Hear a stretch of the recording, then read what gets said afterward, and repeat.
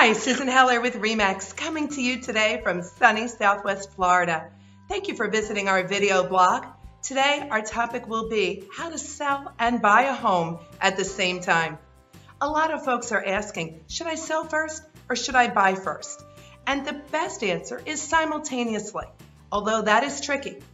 Now, if you are thinking that you want to be situated and moved into the new home and you can financially afford to do that. Now, there are several different mortgage options that we can look into. That is the less stressful of the options.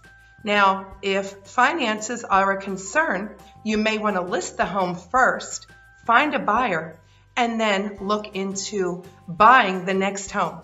Now, right now, this time of the year, in the spring, summer, and early fall markets, as opposed to season, you will have a much better chance at getting your terms. Much more flexibility and versatile terms from a buyer. Now, if you are looking for an extended closing, a lot of these buyers looking today don't need to be in their property until the season. So they can either give you a fall closing or they can close now. You can put the cash in your pocket and do a lease back.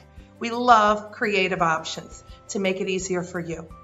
The other thing about getting a property sold is going to be pricing.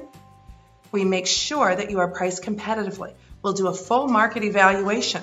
And with my appraisal background, we are very, very accurate. We also make sure that the home is show ready. We have professional stagers on hand. We take professional photography, virtual tours, and that brings us right into marketing. Proactive, targeted marketing. I'd like to share all the details with you. So if you are thinking of selling or buying, let's talk as soon as possible to see what plan suits your needs best. Any questions? Always call Susan. Look forward to speaking with you and make it a great day and a smooth move.